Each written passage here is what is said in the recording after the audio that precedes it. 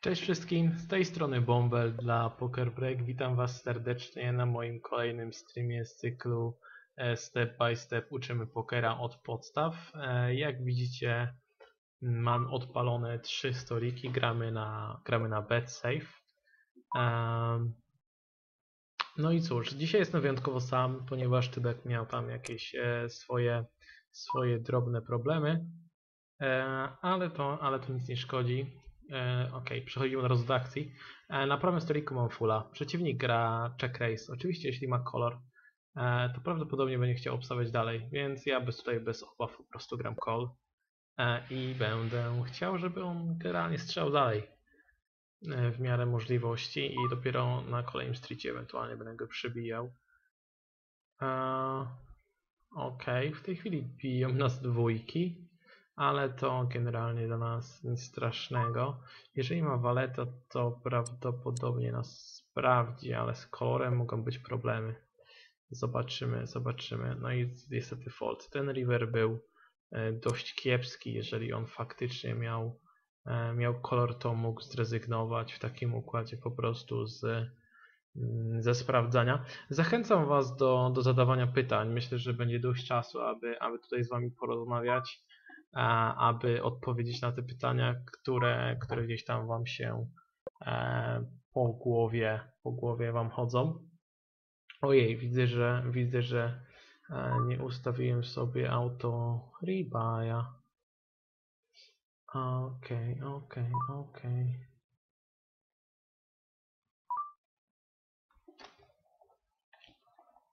Okej. To już. Yy, ok, jeszcze jest, wiem czego nie ustawiłem. Wiem czego jeszcze nie ustawiłem.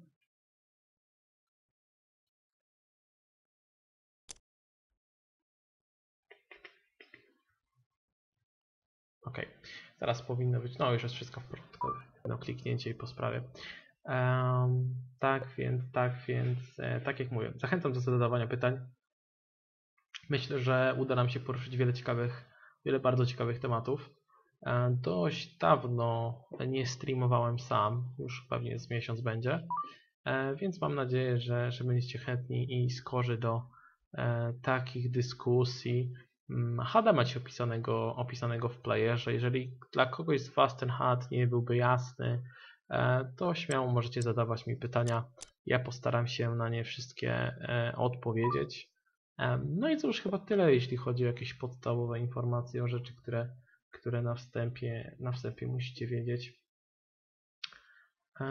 Cześć Gaz, cześć Mix. Mam nadzieję, że, że stream Wam się będzie podobał. Ja postaram się jak najlepiej komentować swoją grę i swoje zagrania.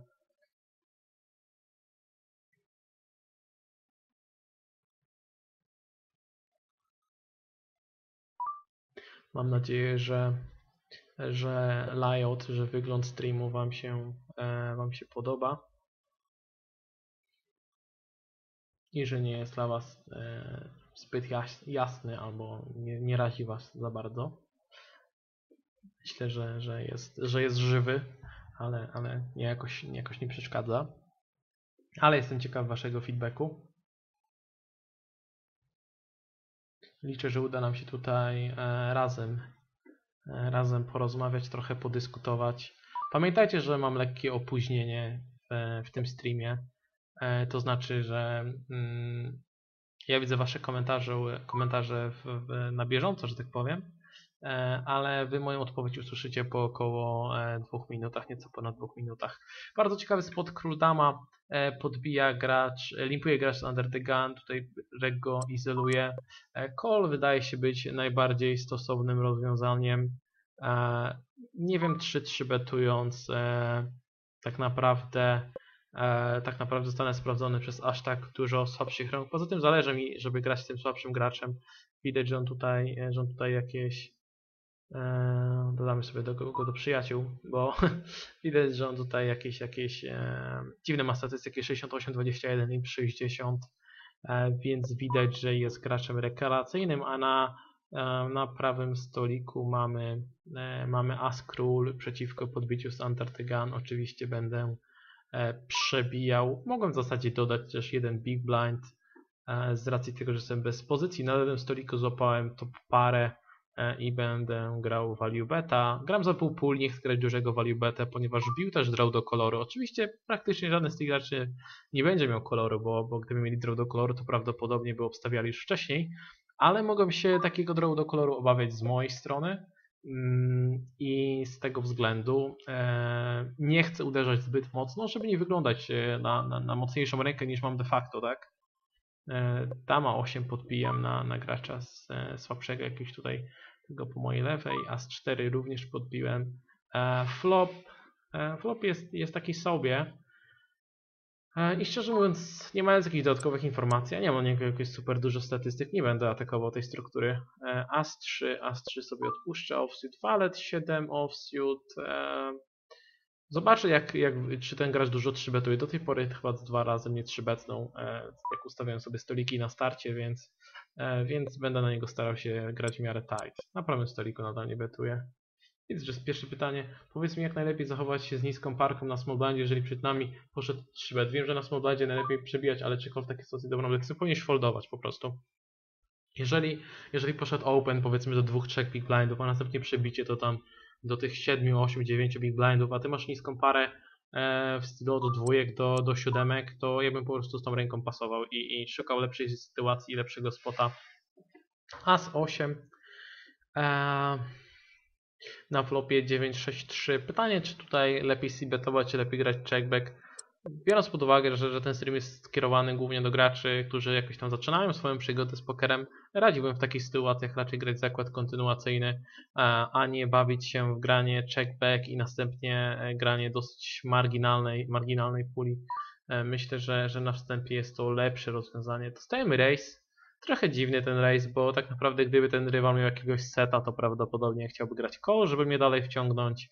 E, może mieć jakiś draw, ale na tym etapie, na tym limicie nie warto się dawać w jakieś przepychanki, e, więc po prostu nie mając mocnej ręki po prostu się poddajemy i to będzie najlepsze rozwiązanie.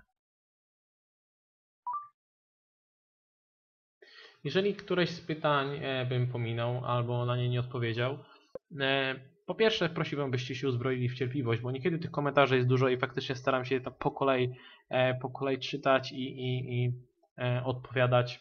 Mm, staram się odpowiadać na wszystkie, ale jeżeli bym faktycznie jakieś pytanie pominął, e, to po pierwsze możecie to pytanie napisać jeszcze raz, ponowić to pytanie. To jest, to jest pierwsza rzecz, a po drugie zachęcam Was, abyście dołączyli do grupy pokerowej pod patronatem Poker Breaka na Facebooku, e, gdzie znajdziecie porady i strategie dla początkujących graczy, wiele cennych porad, analiz. Tam jest też e, kilkaset, kilkaset osób na tej grupie, więc praktycznie dowolnego dnia dowolnej porze, jeżeli zadacie pytanie, to na pewno znajdzie się osoba, która, która będzie chętna, aby Wam pomóc, e, czy to się umówić na jakąś wspólną analizę rozdań. Naprawdę opcji, opcji jest dużo, więc gorąco Was zachęcam, abyście do tej grupy dołączyli na tym Facebooku. As dama oczywiście podbijam, dama 8 folduje, tutaj było podbicie wcześniej. As 3 offsuit, zbyt słaba ręka do tego, aby podbijać. Eee, będąc de facto na MP, tutaj ten słabszy gracz chyba sobie poszedł. No niestety, no niestety, wbił się, miał draw do koloru. Hmm.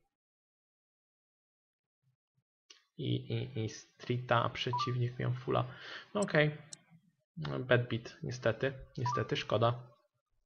Bo generalnie chcemy, aby słabsi gracze wygrywali, tak? Pieniądze dookoła od naszych pozostałych przeciwników. A z 8 suited troszkę zbyt słabo, żeby tutaj coś wykonywać przeciwko graczowi z wczesnej pozycji. Fold jest najlepszym rozwiązaniem tak naprawdę na, na, na, na początku.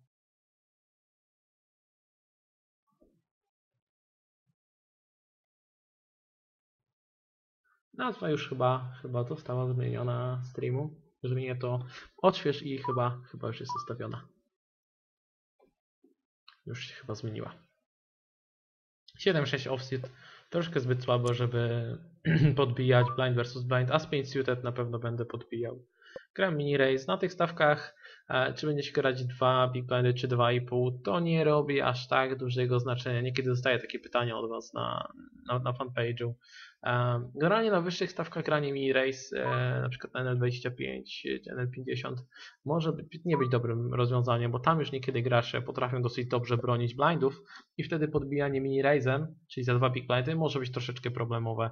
E, na tych stawkach to nie jest żaden problem.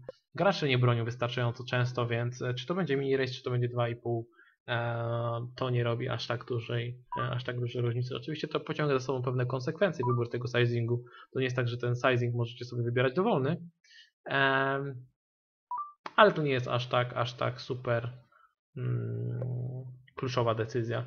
Zdecydowałem się na Seabed na flopie mając e, Gatshota. Uzupełni się draw do koloru, myślę, że to jest niezła karta do blefu. E, uderzę za 3 czwarte puli chcąc reprezentować kolor. E, jest szansa, że wyrzucę mojego rywala. W dodatku jest to wysoka karta. E, jest szansa, że on wyrzuci jakieś pary, szóstki, siódemki, ósemki, e, których nie trzybetowo na preflopie i udało się wyrzucić przeciwnika. Udało się go wyblefować mając gutshota, mając draw do streeta. As 4 offsuit, będąc na MP troszkę zbyt słabo, więc folduję. Damy, damy będę przebijał Jestem na Smalllandzie, podbiję graczy z, z Katofa. Jest to standardowe 3-bet. Jak do tej pory gram bardzo luźno na tym stoliku, e, ale rozegrałem niewiele rozdań. Pozostałem po prostu, po prostu kilka mocnych rąk. E, spadł bardzo przyjemny flop. 7-5-3. Mm, co prawda wiele jego, jego, jego e, rąk nie trafiło. Jeżeli miał dwie, dwie wysokie karty, to nie trafił. Ale nie zmienia to faktu, że powinien tutaj grać zakład kontynuacyjny. Jeżeli ma tutaj jakąkolwiek parę, E, albo suited konektora, to z pewnością nie sprawdzi. Dostałem bardzo szybki call, e, więc będę kontynuował swoją agresję. Teraz uderzę w okolicach 2.40 e, po to, żeby móc bardzo komfortowo wejść za wszystko na ostatniej karcie. Musiałaby spać bardzo zła karta, żebym zmienił swój plan. Mm, czwórka i, i trójka byłyby, byłyby naprawdę takie sobie. Gdyby się uzupełnił drop do koloru, mimo wszystko chyba bym E, chyba bym tam wsuwał. Jest dużo kart, na których bym wsuwał. As byłby kiepski, tak. Oczywiście król byłby naprawdę średni, wtedy chyba można by też odpuścić. E, walet 10, podbicie. Z, jestem na batonie, podbicie z katofa. Jest to fold w takiej sytuacji.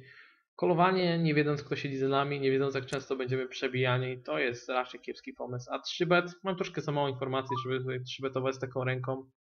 Więc wybieram, wybieram Fold 9-7 offsy, troszkę zbyt słabo, żeby bronić versus cutoff. Cześć Wędrowicz.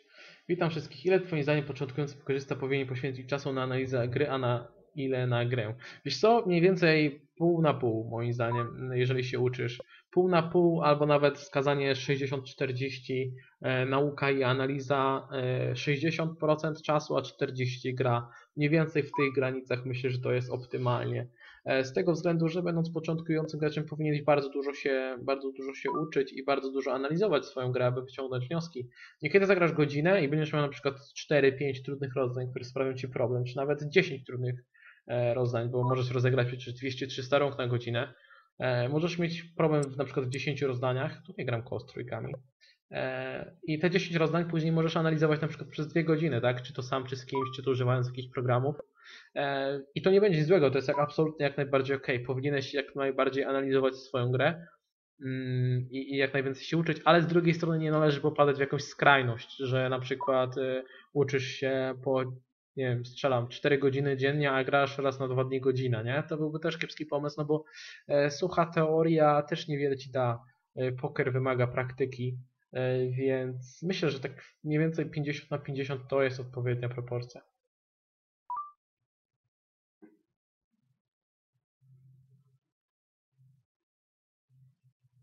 Drugieczki oczywiście folduję. Nie trafiłem seta, więc odpuszczam.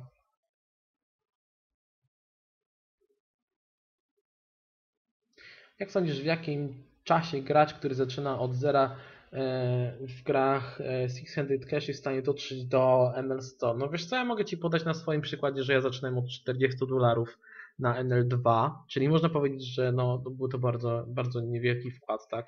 To bardzo niewielki bankroll. 20 buy-inów na, na NL2 to jest, to jest niewiele i to jest najniższy możliwy limit. E, wtedy jeszcze grałem gry full ring, a nie grałem e, short-handed. I udało mi się wejść na NL100 w rok. E, I teraz pytanie, mm, Oczywiście wiele osób ci powie, że, że kiedyś gry były łatwiejsze, teraz jest trudniej. Jest w tym trochę prawdy, oczywiście, ale trzeba wiedzieć, że no, poker jak każda inna dziedzina się rozwija cały czas, no i ciężko, żeby stał w miejscu, tak? Poker się rozwija, jasne, e, ale też poziom materiałów szkoleniowych rośnie, tak? I ich dostępność również. Kiedyś e, nie było Twitcha, nie można było podglądać graczy jak sobie grają, nie było jakichś tam prężnych kanałów na YouTubie, e, były jakieś tam ograniczona liczba filmików, do których jeszcze był problem z dostępem, teraz nie ma takich problemów, masz już dostęp do materiałów, więc to jest coś za coś. Myślę, że jeżeli poświęcisz na to bardzo dużo czasu, to oczywiście jesteś w stanie wejść tam w rok. Nawet możesz wejść szybciej, jeżeli będziesz miał troszkę szczęścia, tak? Jest to jak najbardziej możliwe. E, aczkolwiek gdybym miał patrzeć realnie, to myślę, że, że w rok powinieneś wejść gdzieś na poziom NL25, z, od, zaczynając od zera. Jesteś w stanie zupełnie spokojnie wejść na ten limit. E, a w ciągu następnego pół roku, e, max do roku, powinieneś być w stanie wejść na NL100. Więc jeżeli poświęcisz na to powiedzmy dwa lata i, i mówię tutaj o, o tym, żeby poświęcić około e, na to około 100 godzin miesięcznie. No troszkę więcej musiałbyś poświęcić jak 100 godzin miesięcznie, tak naprawdę 150 godzin miesięcznie powiedzmy. Co jest spokojnie do wykonania zarówno będąc w szkole średniej, jak i będąc na studiach, jak i tak naprawdę pracując na, na, na etat jesteś w stanie też tyle czasu dodatkowego wygospodarować. Mm, myślę, że jesteś w stanie w ciągu dwóch lat zupełnie spokojnie wejść na NL100 biorąc pod uwagę, ile materiałów jest dostępnych w, w sieci i to wejście na NL25 powinno być, powinno być, e, może nie powiedziałbym, że dość proste, ale takie mm, korzystając z materiałów, które są ogólnodostępne, jesteś w stanie wejść na to NL25, a następnie już będziesz miał solidną bazę, solidne podstawy, e, pewnie też jakichś znajomych, z którymi będziesz mógł analizować tę grę i, i dalej będzie łatwiej. Tutaj gram e, z As-8, podbijam, izoluję tutaj gracza, który płacił Dead Blinda. On ma tutaj tak naprawdę dowolną rękę, tak, Eny2 i teraz dołożył, zdecydował się na sprawdzenie. Podejrzewam, że jego zakres jest bardzo szeroki i słaby i z tego względu zdecydowałem się pierwotnie na podbicie z tym As-8, bo, bo wiem, że ta ręka będzie mocno z przodu na jego zakres. Walet 8 w kolorze, mam troszkę za mało informacji, nie chcę tego trzybetować na gracza po mojej prawej. Z drugiej strony kolowanie na smallblindzie nie jest dobrym pomysłem z, takiego, z tego typu rękoma, więc po prostu to odpuszczę, mimo że to może wydawać się weak, słabe i, i graniem bardzo tight, ale wierzcie mi, że, że musicie unikać tego typu sytuacji na smallblindzie, bo jest to bardzo, bardzo trudna i zdradliwa pozycja. Udało się złapać na lewym stole tu parę, mm, mam tutaj trzech graczy, jest, jest dużo drawów, e, więc uderzę mocno. No nie wiem, czy, czy e, Euro 20 to odpowiedni sizing, ale Euro 10 gdzieś euro też to byłby dobry sizing. Euro 20 tak naprawdę też byłoby na pewno ok. Gdzieś, gdzieś w tych widełkach to jest odpowiednia wielkość tego zakładu, który trzeba postawić. E, a jak masz, a masz jakąś wskazówkę, jak analizować swoje rozdania? Tak, jak najbardziej mam. E, odezwij się do mnie na privie. Odezwij się do mnie na privie. E, ja wyślę Ci taką wiadomość, którą przygotowałem, taki szablon dla, dla wszystkich osób, które zadają to pytanie, bo takich pytań E, dostaję mnóstwo, więc wejdź sobie na mój fanpage, e, napisz do mnie prywatną wiadomość, a, a ja Ci napiszę. To może nie jest jakaś super profesjonalna wypowiedź, to nie jest jakieś moje oficjalne stanowisko w tej sprawie, ale wielu graczy mnie to pytało i, i w pewnym momencie zacząłem po prostu kopiować swoją taką dosyć rozbudowaną odpowiedź i myślę, że to może być dobre na początek.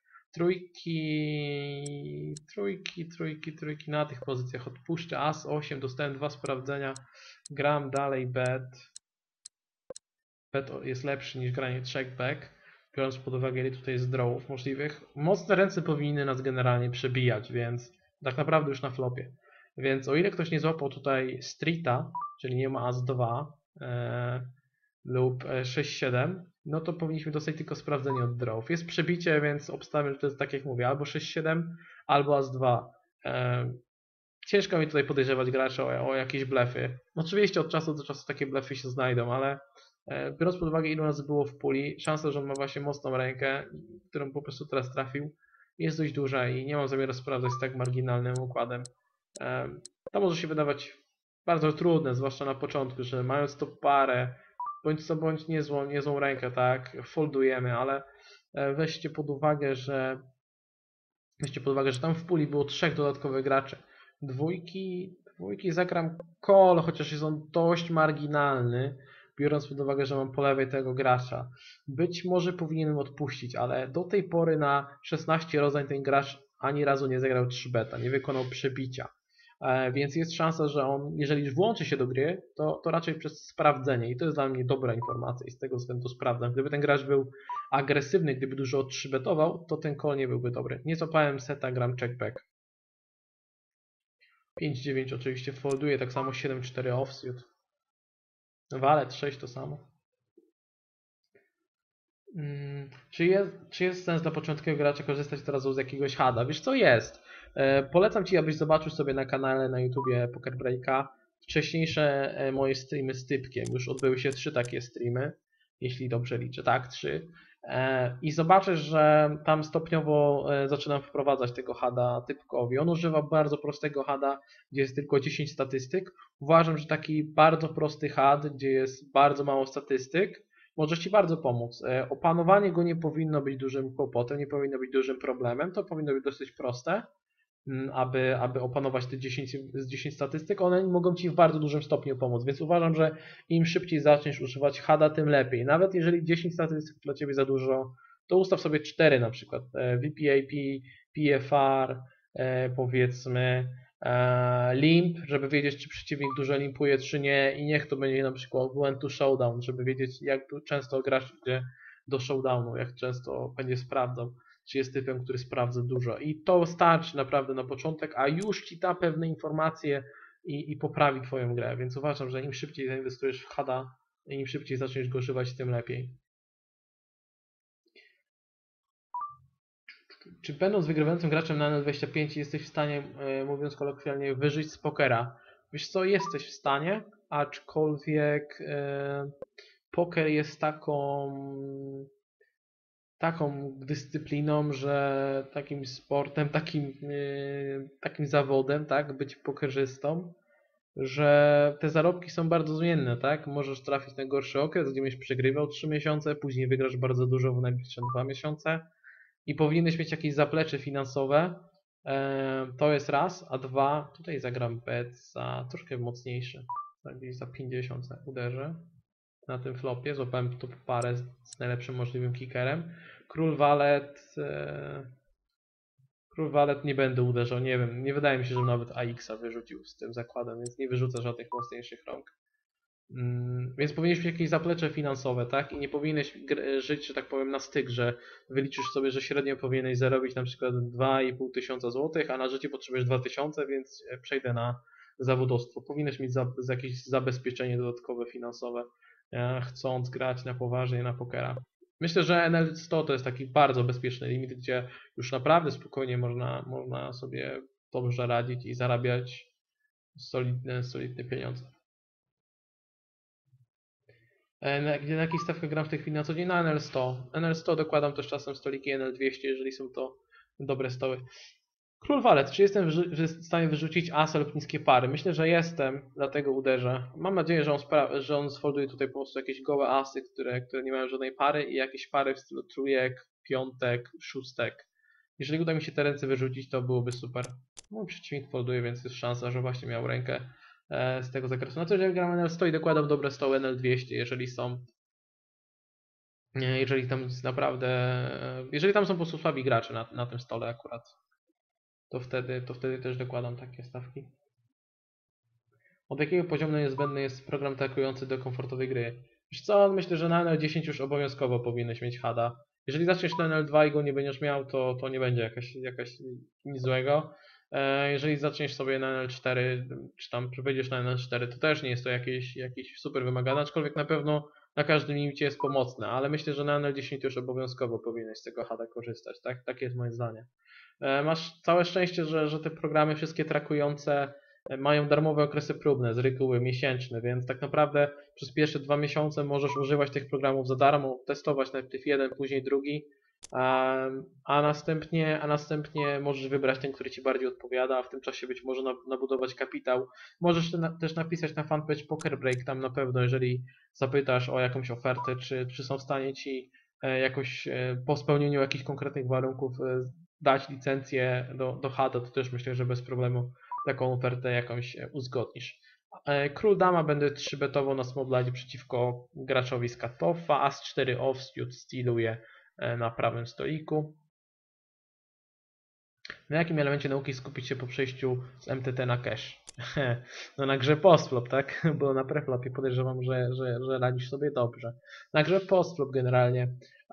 Zacząłbym, znaczy ja też prowadzę treningi dla graczy, dla graczy. Nie wiem na jakim jest, jesteś poziomie i jak wygląda, jakie stawki grasz i na jakich stawkach cash planujesz grać. Ja prowadzę też prywatne treningi, na których pomagam graczom e, MTT przenieść się na cache, bo są takie, takie tematy, które bardzo obowiązkowo trzeba przerobić wręcz, bo, bo, bo gracze popełniają mnóstwo błędów. Na pewno trzeba omówić, trzeba się skupić na planowaniu ręki na, przez wszystkie streety, tak? Bo to jest niekiedy problem w, u graczy MTT, że oni tak podejmują, na preflopie mają wszystko obcykane, a postflop podejmują decyzję ze streetu na street. Co się dzieje na flopie? Dobra, zagram tak i nie myślę o tym, co się stanie w ternie. Spadnie jakiś tern, no dobra, no to teraz zagram tak i tak grałem na, na czutkę po prostu. E, A takie planowanie gry tak naprawdę już od preflopa, a już obowiązkowo od flopa na wszystkie streety, to jest pierwsza rzecz, czyli takie konkretne budowanie gameplanu na postflopa to jest raz. To jest bardzo obszerny temat. Na pewno e, kwestia gry na riverze, czy grać e, bet, czy grać e, check call, czyli po prostu klasyczny dylemat bet fold versus check call. To jest taki temat, który obowiązkowo trzeba, trzeba szeroko omówić i przeanalizować. To jest taki też klasyczny, klasyczny temat. No i tych, takich tematów jeszcze jest kilka. Na przykład obrona przed trzybetami w kontekście, w sensie kolowanie, tak? Bo niekiedy z tym kolowaniem jest różnie, gracze jakoś, jakoś tam coś kolują na czutkę, e, żeby złapać jakąś tu parę i się później wystakować, albo kolują, żeby, bo mają mocną rękę, żeby wpuścić rywala z jego szerokim zakresem i żeby później się wystakować na flopie, a niekiedy z tym planem na dalsze streety i jakimś takim planowaniem na głębszych stakach jest problem. E, Gra w forbetowanych pulach, bo, bo na MTT praktycznie takich pól się nie gra, tak? Jest dużo takich tematów, które trzeba obowiązkowo przerobić.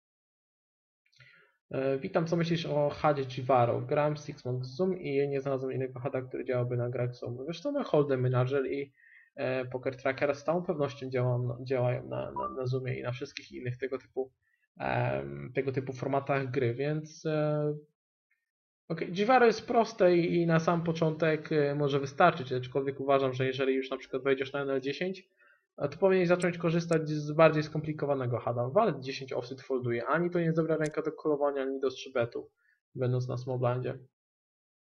Więc myślę, że powinien tak czy siak się przerzucić na, e, z czasem na, na Hold'em Managera lub Poker Trackera. E, Czy masz jakiś pokerowy e, cel, ostry game NL 100, czy może chcesz shotować wyżej, wiesz co? Ja na NL 100 tak naprawdę już wszedłem, żeby nie skłamać 5 lat temu, jeśli, się, jeśli, jeśli dobrze liczę teraz. E, I jest to limit, na którym gram regularnie. Wiesz co, no ja traktuję, traktuję pokera bardzo poważnie i to nie jest tak, że na przykład ja chcę e, na siłę wchodzić na jakieś super wysokie stawki albo, albo grać w jakichś turniejach za, za nie wiadomo jakie kwoty. Mm, Ja podchodzę do tego, do tego realnie moim celem jest zawsze stać się, stawać się coraz lepszym graczem każdego dnia. I to jest podstawa, tak? E, A gdzie to mnie dalej zaprowadzi, gdzie to mnie dalej poniesie i czy uda mi się wejść na jakieś stawki z czasem, a może za jakiś czas, nie wiem, lepszy wypracuję system pracy, nauki albo zmieni się, e, zmieni się trochę, mm, trochę to układ graczy na, na, na danych stawkach i może uda mi się wejść wyżej, może wyląduję na 400, no to, to, to tak naprawdę e, czas pokaże i ja tego, tego nie planuję. To nie jest tak, że ja sobie zakładam cel, że do końca roku wejdę na, na 400. Z, takich, z takiego planowania już e, mm, tak za, za, zaprzestałem takiego planowania. Po prostu staram się każdego dnia poprawić jakiś element swojej gry i, i to jest najważniejsze. Aczkolwiek o planowaniu więcej przeczytacie w książce Rekrumskiego, e, którą, którą bardzo polecam się zobaczyć. Tutaj jest ciekawa sytuacja z tym Walet 9 w kolorze. Hmm. Zagram fold. E, To będzie, to jest bardzo tight fold. E, Powiem wam z czego on wynika. E, Kolowanie tej ręki jest naprawdę średnim pomysłem, będąc na small blindzie. Z drugiej strony mam gracza słabszego, który jest szansa duża, że dołoży i mógłbym tym to uzasadnić. ale to może prowadzić, zwłaszcza początkujących graczy, do pewnych takich nadużyć i takiego usprawiedliwiania słabych zagrań jakimiś innymi powodami dziwnymi. Z tego względu wybrałem Fold. 3-bet odpadał z tego względu, że jeżeli bym 3-betną, bym przebił tego gracza, no to jest ryzyko, że zostanę sprawdzony przez tego słabszego gracza po mojej lewej, bym był w bardzo trudnej sytuacji. Siódemki gram e, call będąc e, na Big Batonie versus Katow. O tak dawno gram z NS, to wiesz co, polecam Ci zajrzeć do tutaj w mojej ofercie treningowej znajdziesz kilka słów o, o mój te, na mój temat, o mojej, o mojej grze. Co prawda musiałbym to pewnie zaktualizować, bo to są chyba mm, no minął rok, minął rok i, i po prostu musiałem dodać rok wszędzie, że, że, że gram dłużej w tego pokera. E, siódemki fold na przebicie tego gracza po mojej lewej. Nie chcę stakować tej ręki na, na mid staka. Mógłbym na upartego, ale musiałbym troszkę więcej o nim wiedzieć. Niekiedy siódemki to byłby easy shipek w tej sytuacji, ale, ale to przy konkretnych, konkretnych informacjach. As 9 podbijam, 7-5 w kolorze, gram call przeciwko mini raise'owi z batona. E, spada całkiem ok dla nas flop. Mam open endera i backdoor draw do koloru więc będę z tą ręką przebijał. Z 9 zostaje, jestem 3 betowany, więc gram fold. Od jakiego poziomu polecałbyś początkującowi graczowi skorzystanie z usług trenera? Wiesz co, myślę, że najniżej na NL10. Do NL10 tak naprawdę powinien być bez, bez problemu wejść sam. Jeżeli masz, grasz na NL10 i masz problemy, żeby wejść na NL25, to może być dobry moment, żeby skorzystać z trenera, bo bądź co bądź nie ukrywam, jest, jest to duży wydatek, tak? I, i ja nigdy nikogo nie, na, nie naciągam na, na treningi i wielokrotnie gracze, gracze mi pisali, um, czytałem takie, takie zdanie w stylu co ma mnie skłonić do tego, e, czy mnie przekonasz, że powinienem skorzystać z Twoich treningów. Ty powinieneś sam z siebie chcieć i czuć i wiedzieć, że potrzebujesz pomocy trenera, E, bo, bo, bo trener może dać Ci dobry impuls, może w krótkim czasie dobrze poukładać Twoją grę, mm, a także widząc na przykład moje, moje streamy, możesz zauważyć, że ok, on w tych spotach w niektórych sytuacjach myśli zupełnie inaczej jak ja. Dlaczego on tak myśli? Jeżeli nie będziesz w stanie sam do tego dojść, nie będziesz w stanie zrozumieć procesu e, rozumowania w danej sytuacji, to być może jest to dobry moment, żeby, żeby wziąć trening, tak? Być może powinieneś się rozwinąć w tej kwestii. Mm, ale poniżej NL10 myślę, że jasne, mam, mam też graczy na przykład, którzy e, zaczynali na NL2 i od samego początku wzięli mnie jako trenera i okej, okay, to też jest fajny pomysł, jeżeli ktoś chce bardzo szybko tą grę sobie poukładać i jak najszybciej wejść na wyższe stawki. Tylko to się wiąże z pewną inwestycją i jeżeli nie chcesz do tego dokładać, jeżeli chcesz wykładać pieniądze swojego bankrola na treningi, to myślę, że najwcześniej na NL10 ma to sens.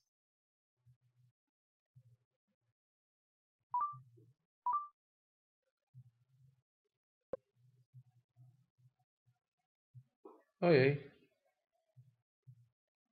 Czy wam umarł stream?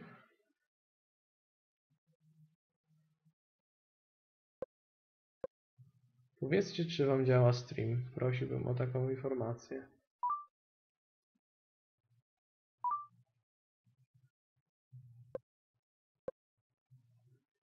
Bo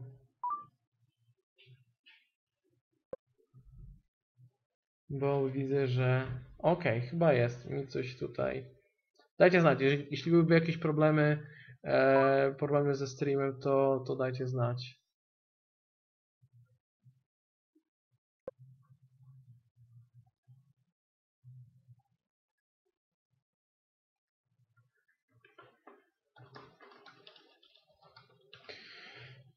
Ok, tutaj jest, już, już, już wracam, bo tutaj straciłem koncentrację, żeby sprawdzić, czy wszystko jest ok z, streamem.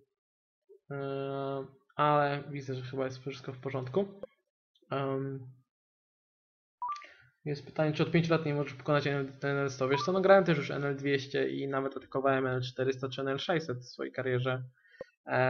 Ale po prostu na tym etapie kariery nie jestem w stanie grać wyżej. E, wynika to z tego, jakie zmiany poniekąd zaszły w środowisku e, pokerowym od, od powiedzmy ładnych paru lat.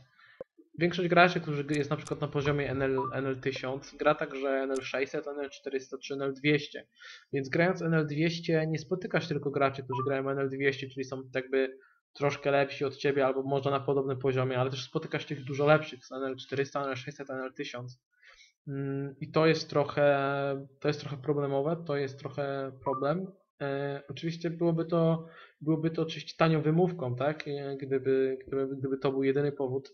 E, prawda jest taka, że poker nie zajmuje w 100% mojego czasu, bo w międzyczasie studiowałem dwa kierunki, już jeden skończyłem, obecnie, obecnie kończę drugi, więc bądź co bądź siłą rzeczy studia też zajęły sporą część mojego czasu. Gdybym chciał atakować, powiedzmy wejść regularnie, grać NL200, NL400, NL600, um, atakować NL1000 czy, czy, czy w ten deseń, to musiałbym po prostu zajmować się w 100% pokerem i zupełnie, e, zupełnie zrezygnować ze studiów prawdopodobnie, a uznałem, że, że po prostu e, postawię na te studia póki co i, i zobaczymy.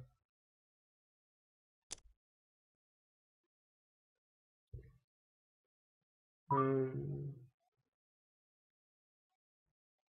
Czy ty współpracujesz z jakimś trenerem, czy do NL2 doszedłeś sam? Wiesz co, do NL100 w zasadzie sam doszedłem. E, przed NL100 wziąłem dosłownie, zanim wszedłem na NL100 wziąłem dosłownie, żeby nie skłamać, jeden trening. Tak, jeden trening. E, półtora godzinny. Albo dwa, już teraz nie jestem pewien. Ale to nie jest tak, że do końca doszedłem sam, bo, bo współpracowałem z innymi graczami to było kluczowe. To było kluczowe. Zupełnie, zupełnie sam to nie było tak, że, że po prostu zamknąłem się w swojej piwnicy i wszystko zrobiłem na własną rękę, tak? Współpracowałem z innymi graczami, ta współpraca bardzo dużo mi dała. Wspólna analiza rozdań, wspólne, tutaj ten gracz mnie notorycznie trzybetuje, gram KOS, Aswalet e, i zobaczymy, zobaczymy co dalej. Nie chciałem jakoś nigdy szeroko, wcześniejszych sytuacjach, sytuacjach jakoś szeroko sprawdzać i tak dalej, żebyście um, też nie popełniali tego błędu. Mm, z waletami zagram bet for value mimo wszystko, a z walet również będę value betował. Ok, super, dzięki, czyli działa. Cześć ziomek, dzięki za informację. E, walety już dalej nie będę betował, czy jeszcze raz betnąć. Gramy w trójkę. Niższe pary trały do koloru mogą mnie sprawdzić teoretycznie. Jeszcze jeden bet tutaj wchodzi w grę. As 9 gram przeciwko de facto katofowi, więc zagram call. Tego gracza chyba nie było, tak? Nie było go jeszcze przed tym rozstaniem. Więc ten call na Big Blindzie versus Katow e, przeciwko takiemu sizingowi będzie ok. Spada flop, na który łapie to parę, więc zagram call. E, król w ternie troszkę psuje sprawę, aczkolwiek jest mała szansa, że ten gracz by betował na flopie mając króla. Więc to nie jest taka zła karta generalnie. Biorąc pod uwagę, że nadal bije droły do koloru, bije takie ręce jak dama walet, dama 10, walet 10. Zagram tutaj jeszcze jeden call i rozważę swoją decyzję ponownie na riverze. River spadł dość słaby. Przeciwnik miał as 8, czyli walet Walet spowodował, że mamy splita. 9-3 suita to oczywiście fold, 10-7 fold, as 7 fold.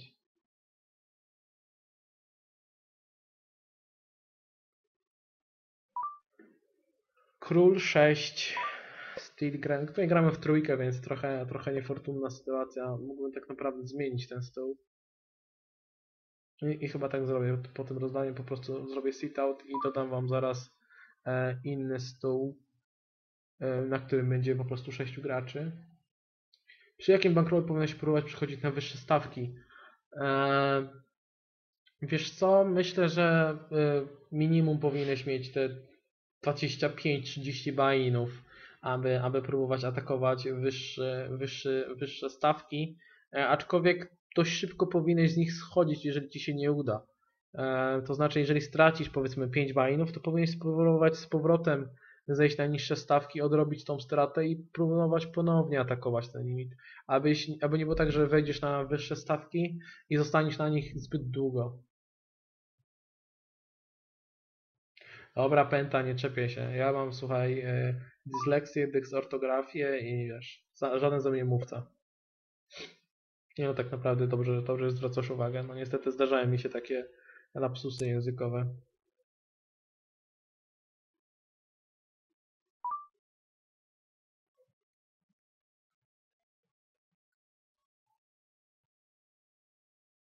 As 7. Czy chcemy tutaj uderzać na tym flopie? Uderzę na tym flopie.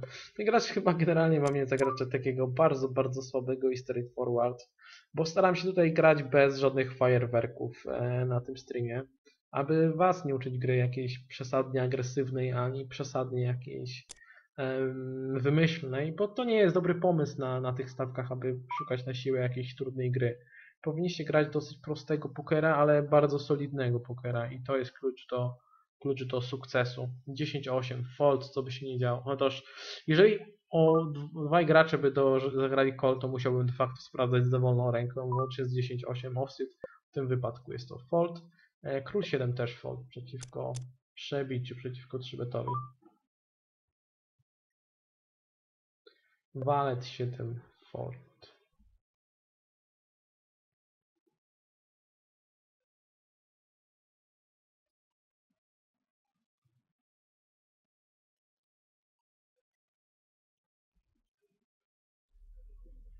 Dziewięć, siedem offset to też będzie fold, nie będę go stylował.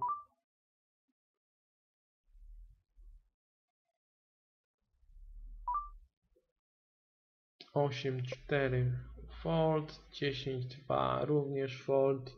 Pamiętajcie, żeby nie szukać gry na siłę, bo to się bardzo źle kończy. Poker uczy cierpliwości musicie, musicie sobie zdawać sprawę z tego, że mm, po prostu niekiedy jest taki czas, przychodzi taki czas, że są gorsze ręce, albo po prostu przegrywacie wszystko jak leci i, i nie macie na to wpływu w krótkim okresie. Ważne, żeby wasza gra była solidna, żebyście stawali się coraz lepszymi graczami i wtedy w długim okresie będziecie wygrywać. Mm, As 10 gram 3 bet na Spobladzie przeciwko Batonowi. E, Czy grałeś kiedyś spiny? Jak bardzo różnią się gry Six-Handed Cash od spinów? Chodzi mi na przykład o zakresy. No, różnią się tak samo jak e, na przykład jazda rowerem i, i Formuła 1. To są dwie zupełnie inne rzeczy. Poza tym, e, że to też jest poker. To nic ich nie, nic, nic nie łączy te dwie gry. To może źle podałem. Może to jest trochę jak jazda, e, nie wiem, jazda po mieście i, i wyścigi Formuły 1, tak? To są cztery koła i to też jest poker, ale to jest zupełnie innego, zupełnie, zupełnie. Na spinach gra się na krótkim staku, są bądź, turnieje, a nie gry cash. A, gramy przeciwko dwóm graczom, no jest, jest więcej różnic niż podobie jest, niż podobie jest nic, tak naprawdę. Piątki sprawdzam. Nie ma sprawy. Staram się zawsze w miarę, w miarę szczegółowo i obszernie odpowiadać na pytania. E, Od tego tutaj jestem. Bardzo się cieszę, że jesteście aktywni, że te pytania zadajecie. E, Jeżeli ktoś z Was e, chciałby je zadać pytanie, a po prostu nie miał okazji, bo na przykład ogląda ten film na YouTubie, albo po prostu nie chce zadać pytanie, bo, bo na przykład ma jakieś opory, to albo polecam wpaść na grupę pokerową na Facebooku, gdzie znajduje się kilkaset osób, które bardzo chętnie Wam pomogą. E, Ta grupa jest pod patronatem Poker Breaka, więc znajdują się tam posty edukacyjne, analizy rozdań. Więc naprawdę, naprawdę polecam. A jeżeli ktoś nie chce się wypowiadać publicznie, bo, bo, bo ma do tego takie prawo, to napiszcie do mnie prywatną wiadomość i ja postaram się Wam na wszystkie Wasze pytania odpowiedzieć e, w miarę, w miarę możliwości i wiedzy, którą posiadam. Dama 3, fold przeciwko 5 big blindom.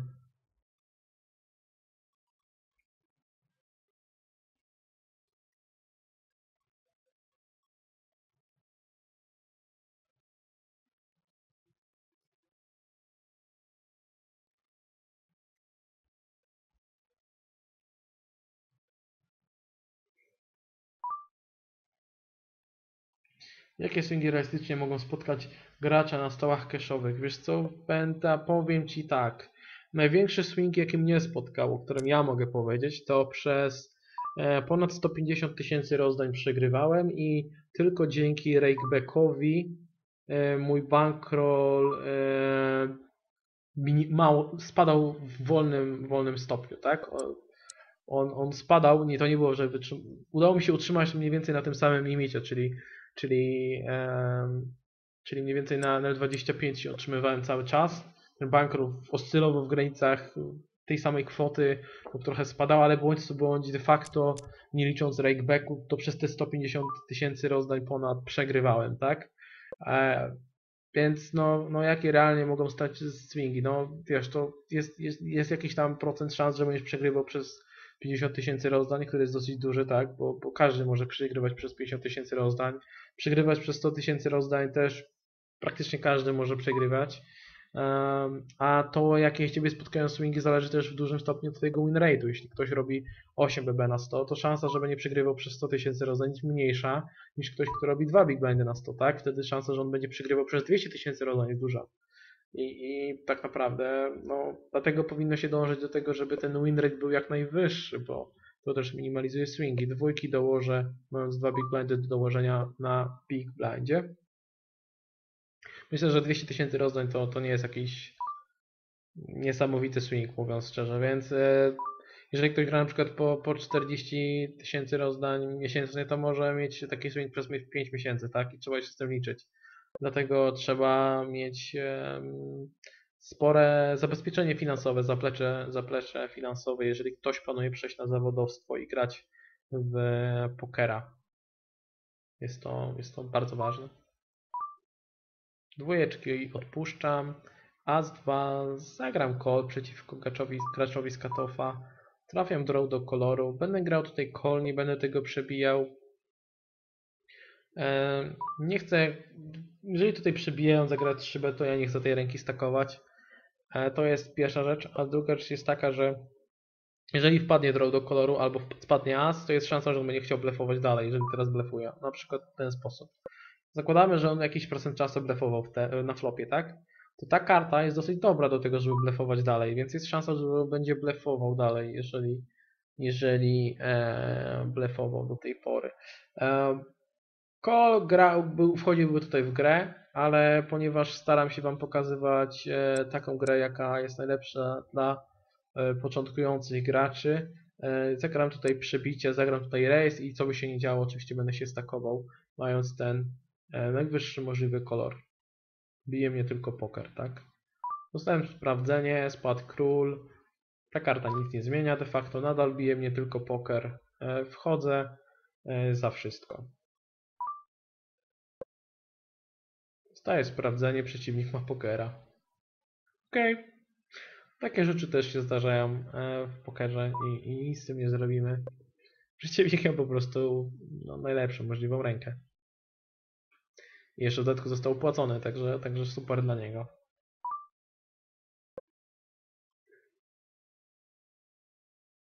Jeszcze przez kilkanaście minut będę streamował swoją grę, później będę uciekał.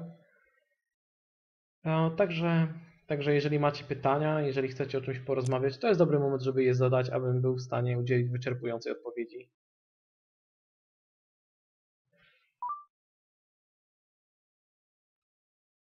As 6 offsuit będę stylował na środkowym stoliku.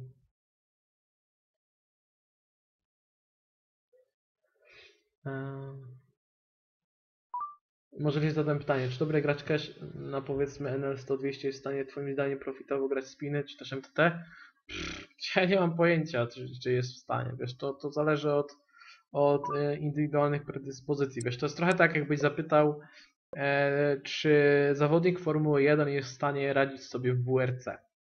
No i jest przykład Kimiego Raikkonena, który poszedł do WRC i sobie nie radził, a jest przykład Roberta Kubicy, który poszedł do WRC i został mistrzem WR, kategorii WRC 2, tak? Więc to jest do czego zmierzam, bo przecież część z Was może się w ogóle nie interesować Formułą 1 ani rajdami tym bardziej. Zmierzam do tego, że to są tak odmienne gry, że mm, ciężko powiedzieć, ale co jest kluczowe? Jeżeli ktoś gra NL100 lub NL200, to znaczy, że ma dobrze poukładany mindset prawdopodobnie, to znaczy, że ma ogólne duże pojęcie o pokerze, że wie, że kluczowa jest strategia, potrafi analizować rozdania, potrafi tworzyć strategię, wypracował sobie etykę pracy, czyli gro pracy, które, którą on wykonał, jest identyczna w obu grach. Więc jeżeli, jeżeli pytasz, czy gracz NL10, powiedzmy cash, albo gracz, no jeżeli gracz NL10 cash szybciej nauczy się grać spiny od gracza NL200 cash, to prawdopodobnie tak, bo prawdopodobnie większość z tych graczy będzie miała e, lepszy mindset i lepszą etykę pracy już wyrobioną, a to będzie kluczowe w, w nauce. Z dziesiątkami oczywiście gramy call, to nie wiem, że ten slow rock, po prostu chciałem dokończyć. Tutaj jest po prostu no snap, tak?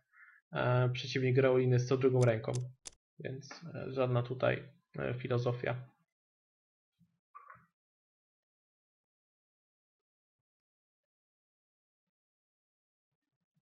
Jakiego neta polecasz do grindowania? Takiego, który nie tnie i nie wyrzuca. E, Wiesz co, no ja korzystam obecnie z, z neta na światłowodach i jest ok. Ale też zdarza się, że na przykład całe osiedle ma problem z, z internetem, no i wtedy no, no nie poradzisz na to nic. Więc ważne, żeby to łącze było jak najbardziej stabilne.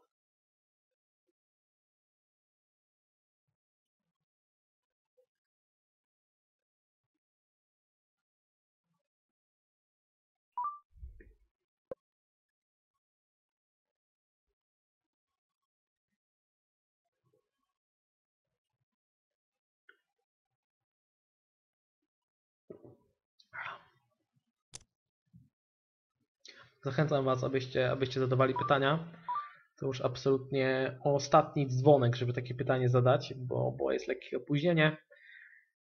E, więc, więc troszkę zajmie, jeżeli będę chciał udzielić wyczerpującej odpowiedzi, a zawsze staram się takiej odpowiedzi udzielać. W międzyczasie, skoro nie mam pytań chwilowo, odeślę Was, abyście e, sobie mm, pobrali zupełnie za darmo e, nowy odcinek, odcinek magazynu Calling Station. Jest to magazyn tworzony e, innymi przez redakcję Poker Break. Znajdziecie tam bardzo dużo ciekawych treści. E, W tym cały dział poświęcony, poświęcony strategii. E, Są tam, mm, jest tam innymi moja analiza rozdania. Jest tam też, jest tam też spory artykuł, jeśli się nie mylę, o dongbetowaniu. Du, duży, duży materiał na ten temat, więc polecam Wam, polecam Wam tam zajrzeć. Tutaj jest 10.7. O, można to podbijać, można to foldować. Gra, podbijam, ponieważ ten gracz jest bardzo tight. E, więc polecam Wam zajrzeć i pobrać sobie zupełnie za darmo ten magazyn Calling Station. Tam wystarczy podać maila i dostaniecie ten magazyn na maila. Nie wiem czego, czego tyczy się te wow, czy, czy przeciwnik miał pokera, czy no, no miał pokera. Em, Co z pokerzystami w Polsce, jeśli wejdzie ustawa? Czy zamknie się rynek taki na przykład w Portugalii? A wiesz co, no tego, tego tak naprawdę nikt nie wie. Nikt nie wie w jakiej e, formie ostatecznie zostanie przyjęta ustawa. To jest kluczowa sprawa. Czy uzyska w pełni notyfikację? To jest kolejna ważna rzecz. A trzecia rzecz to jak w praktyce będzie wyglądało egzekwowanie przepisów zawartych w tej ustawie. To są trzy bardzo ważne zmienne i jeżeli w którejkolwiek z tych zmiennych okaże się, że e, nie wszystko jest takie proste, jak się rządzącym wydaje, a wiele na to wskazuje, no to powinno być dobrze, albo, albo może się nawet nic nie zmienić, tak? To rządzący tak naprawdę nie do końca chyba, to czy chyba z całą pewnością, słuchając ich, ich e, słuchając tych wszystkich komisji i tak dalej, bo, bo też te obrady słucham, zdaje się nie do końca wiedzą, jak wygląda rynek pokera online w Polsce i nawet nie wiedzą jeszcze, jak za bardzo tego zabrać, nie bardzo mają o nim pojęcie. Więc szansa, że, że faktycznie uda im się wprowadzić jakiś monopol i zakazać w ogóle gry, czy coś w ten deseń, no to, to jest, to, to jest mało prawdopodobne, tak? To jest no nie chcę powiedzieć, że niemożliwe, ale ja jestem spokojnej myśli, ja jestem spokojny o swoją przyszłość. A jest w dużej mierze związana z pokerem, więc radzę zachować optymizm. I, i zobaczymy, jak to wyjdzie w praktyce. Jakbyś nie miał As 2 suited, tylko jakiś niższy kolor, to Stakowałbyś rękę dalej czy fold? Dobre pytanie, bardzo dobre pytanie. Muszę odpowiedzieć, e, zależy, bo to zależy jaki wysoki był ten kolor. Gdybym miał na królu, to tak. Gdybym miał na damie, już bym się mocno zastanowił. Zwłaszcza gdybym miał na przykład dama walet lub dama 10, czyli blokowałbym pozostałe inne mocne kolory. Wtedy mógłbym, mógłbym rozważyć e, niestakowanie się, ale gdybym nie chciał się stakować, to wtedy prawdopodobnie, znaczy nie, no pewnie tak bym przebijał to na, pewnie tak bym to przebijał tak naprawdę na, na ternie. I czy bym stakował dama walet, dama 10, walet 10? Chyba i tak bym stakował, mówiąc szczerze, na tych limitach. Musiałbym jeszcze dokładnie spojrzeć na, na, na tą rękę. Ale to jest bardzo dobre pytanie. To jest bardzo, bardzo dobre pytanie. To nie był prosty, to nie była prosta sytuacja. E, Board wyglądał w ten sposób. 5, 6, 7. 8, 9 mnie bije, więc e, 9 high mnie de facto kolor bije. 10 high ja biję.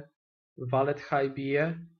Więc e, gdybym miał damę, to dama walet, dama 10 bym e, nie stakował tego koloru. Ale to prawdopodobnie zagramy po prostu call w ternie, wiesz, na, na takiej strukturze mimo wszystko, chyba takim układzie. E, dama 9 zagram call przeciwko podbiciu z e, batona. Studiowałeś dwa kierunki jednocześnie, e, miałeś inne zajęcia. W jaki sposób znajdowałeś czas na grę w pokera przy jakiegoś czasu, że w rok udało Ci się dojść do NL100? Wiesz co, ja wszedłem na NL100 e, dużo wcześniej, to było 5 lat temu.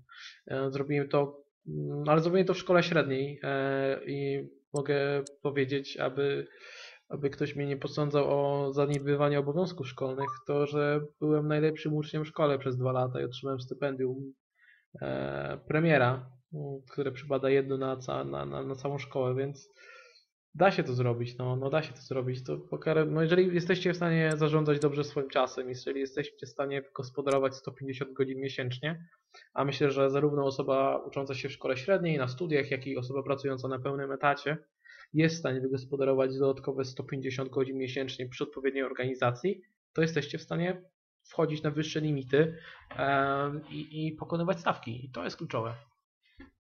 Ważna jest organizacja, tak jak mówię, o organizacji to, to polecam Wam zajrzeć na fanpage Lech, Lecha Rumskiego albo, albo zakupić jego książkę, która wyszła.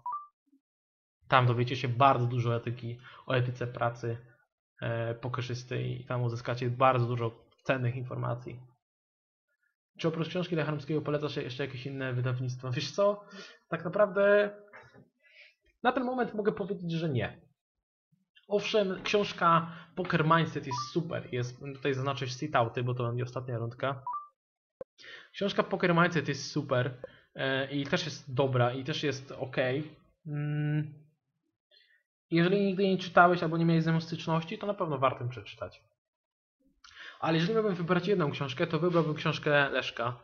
I to nie dlatego, że go znam e, i to nie dlatego, że jesteśmy razem w redakcji, tylko dlatego, że warsztat, który posiada Leszek i książka, to co zawiera ta książka, to jest po prostu coś, coś dla mnie e, niesamowitego. Kurwa, zagram, mam drugą parę, zagram jeden call. To jest coś niesamowitego. Tam jest mnóstwo bardzo przydatnych informacji, praktycznej wiedzy, włącznie z ćwiczeniami, jak ją zastosować, jak wprowadzać zmiany w pokerze.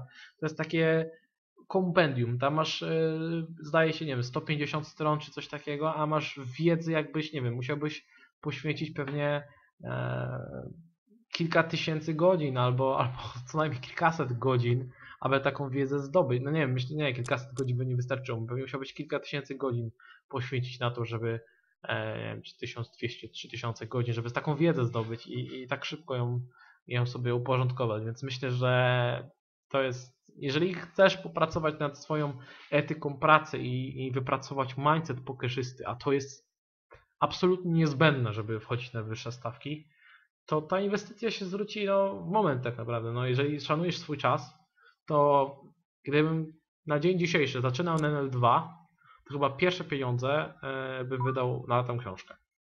E, bo ona pozwoli Ci poukładać sobie w głowie, dzięki czemu zaoszczędzisz czas, e, poprawisz organizację czasu i będziesz szybciej pokonywał kolejne stawki, dzięki czemu no to się ekstremalnie szybko zwróci. Tutaj to już będzie ostatnia ręka, jeszcze odpowiem na Wasze pytania.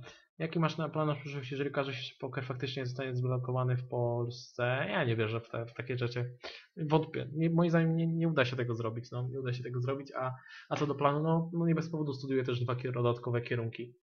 A, mimo małego prawdopodobieństwa powiedzmy, no, no mówię, to, to moim zdaniem to jest, to jest praktycznie scenariusz no, niemalże niemożliwy, tak? To tak jakbyś byś mnie zapytał, co planuje, jeżeli wybuchnie wojna? No jak wybuchnie wojna, to wybuchnie wojna, no. To będziemy reagować, a, a, ale prawdopodobieństwo obu rzeczy myślę, że jest w miarę podobne, czyli że nie będzie można grać pokera zupełnie w Polsce online i że wybuchnie wojna, to są takie rzeczy, które prawdopodobie- prawdopodobieństwo oceniam na naprawdę, naprawdę niski procent. Dobra, dzięki Wam wszystkim za, za to, że wpadliście, że byliście ze mną, że byliście aktywni, że zadawaliście pytania. Jeszcze raz Wam zaspamuję. Jeszcze raz Wam powiem o grupie pokerowej. Jeżeli ktoś z Was dopiero wpadł e, albo ogląda te nagranie na YouTubie i chce zadać pytanie, to koniecznie, koniecznie wpadnijcie na grupę i tam możemy sobie jeszcze porozmawiać. Jesteśmy w kontakcie, słyszymy się za tydzień. Za tydzień będę streamował już zdaje się z typkiem. E, Będzie kolejny odcinek step by step. Dzięki za Waszą obecność dzisiaj. To był Bombel dla Poker Break.